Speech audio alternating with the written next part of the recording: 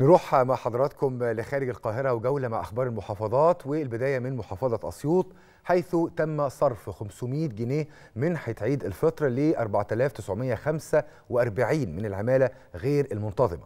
أما في بورسعيد فقد تم افتتاح أعمال تطوير نادي التثقيف الفكري الرياضي لذوي الهمم كمان في الدهلية تم تخصيص 18 مركز لفحص المقبلين على الزواج خلال أجازة عيد الفطر. أما في الأليوبية تم تحديد 410 ساحة ومسجد لأداء صلاة عيد الفطر. تفاصيل وأخبار أكتر في سياق هذا التقرير.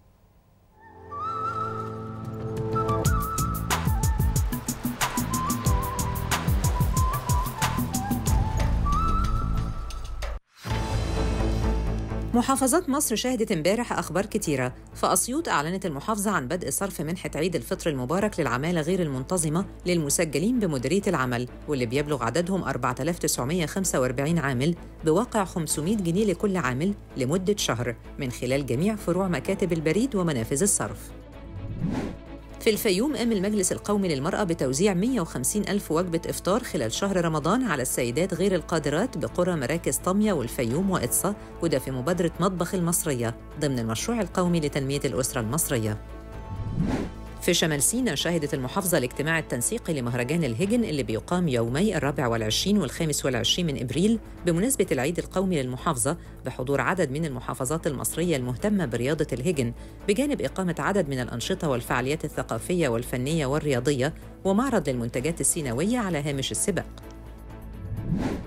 في بورسعيد افتتحت المحافظة أعمال تطوير نادي التثقيف الفكري الرياضي لذوي الهمم بمنطقة خديجة ب بالضواحي بعد الانتهاء من تطويره ورفع كفاءة المبنى على أعلى مستوى.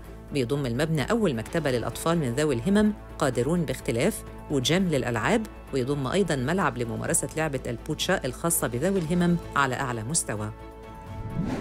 في المنوفية شهدت المحافظة استلام سيارتي إطفاء بتكلفة 6 مليون و825 ألف جنيه ضمن الخطة الاستثمارية لإدارة الحماية المدنية بالمنوفية للعام الحالي واللي بتعد إضافة قوية لأسطول إدارة الحماية المدنية بالمحافظة لمواجهة الأزمات والكوارث. في الدقهلية أعلنت مديرية الصحة العمل ب 18 مركز لإجراء فحوصات المقبلين على الزواج خلال فترة أجازات عيد الفطر المبارك من يوم الثلاث 9 إبريل للحد 14 شهر إبريل الجاري وبتبدأ من الساعة 8 صباحاً وحتى الساعة 2 ظهراً لتلبية احتياجات المواطنين بما يضمن تقديم أعلى مستويات الخدمة الطبية.